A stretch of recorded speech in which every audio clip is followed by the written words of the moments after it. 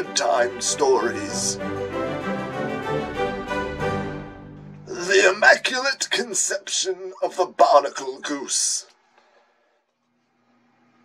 Hey, Shawn Best of the Bird Bros here, and tonight we have a really special story.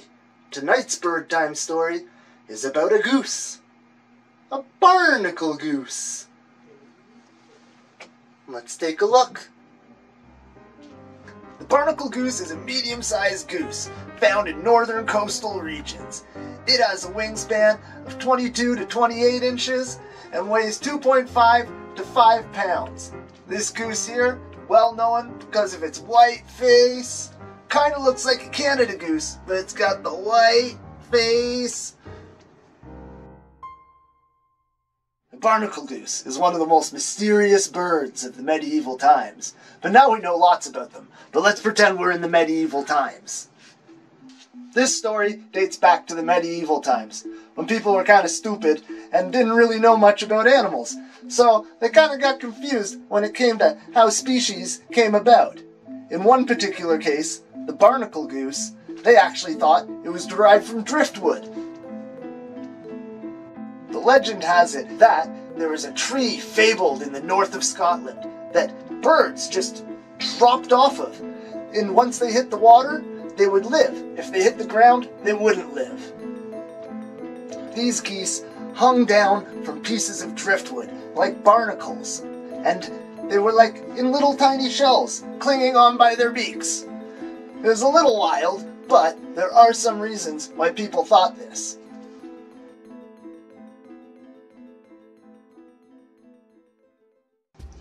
The barnacle goose bears a striking resemblance to the common barnacle found on wood and old ship planks that would wash up on shore. If you look at it, even the pattern kind of looks the same. Sometimes people will get a bit mixed up and think that these barnacles found on ship planks and old pieces of wood were actually baby barnacle geese, tiny little hanging on by their beaks. Barnacle geese breed way up north, and in England and Scotland, where this story came from, well, they didn't go that far north to see actually where the birds went in the summertime. They just saw them come down fully formed as barnacle geese. One account says that they don't breed or lay eggs, or hatch from eggs. In fact, this account says that they don't have a nest in any corner of the known planet Earth. And at that time, planet Earth was kind of like known to be small, and some people thought it was flat, so who knows.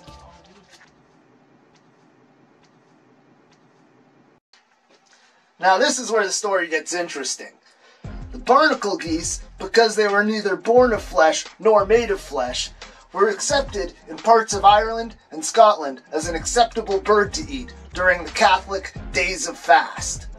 So these people would eat geese when they were supposed to be fasting because they weren't technically animals. This legend actually attracted attention from the Catholic Church, and Pope Innocent III declared that barnacle geese you couldn't eat while you're trying to fast. Because although they weren't born of flesh or made of flesh, they came from trees, that was uh, like ate like a goose and fed like a goose and did things that gooses did, so they just considered it a goose, regardless of how it was made. Even the Jewish people had to chime in on this myth, saying that the barnacle goose was kosher and should be slaughtered in the same manner as any other bird.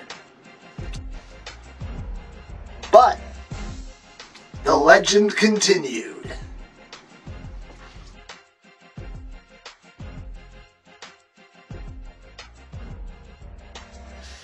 1435, Pope Pius II went to Britain and wrote in his book De Europa that there was a tree fabled in the north of Scotland that birds just dropped off of. Pope Pius II was interested in this because the Catholic Church was kind of like the scientists of the day. They made the ultimate rulings on what was what and what wasn't.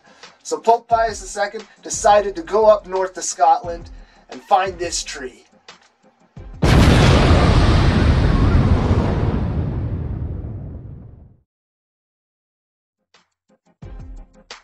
When Pope Pius II got to Scotland, he started asking the locals about this myth.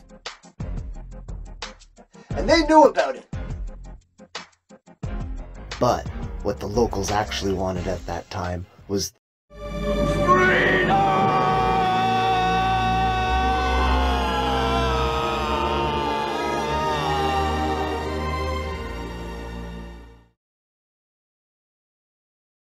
Just kidding.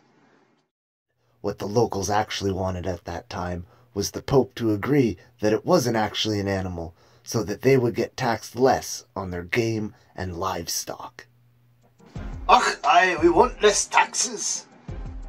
Upon further investigation, he was only told that it was somewhere else on the Orkney Islands, where he couldn't go at that time.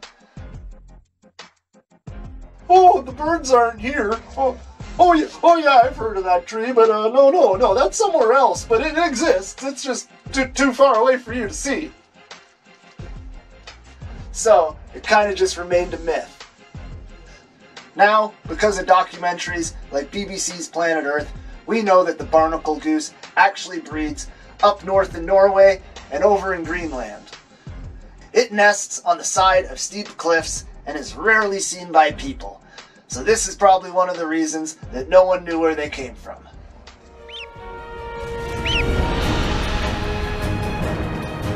a perfect launch. And a controlled drop. This is as good a descent as it's possible to make.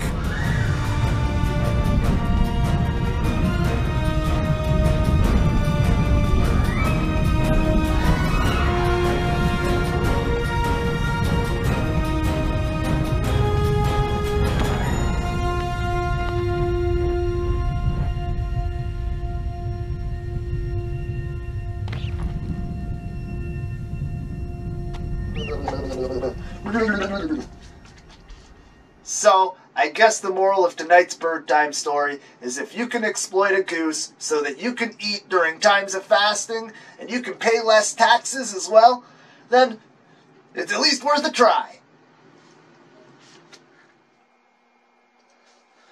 Well, that's all we got for the barnacle goose. I hope you guys enjoyed that bird time story.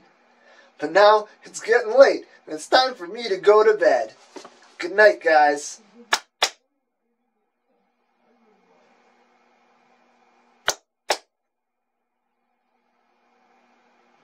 Oh, I don't have one of those. Later. The Bird Bros. Ooh.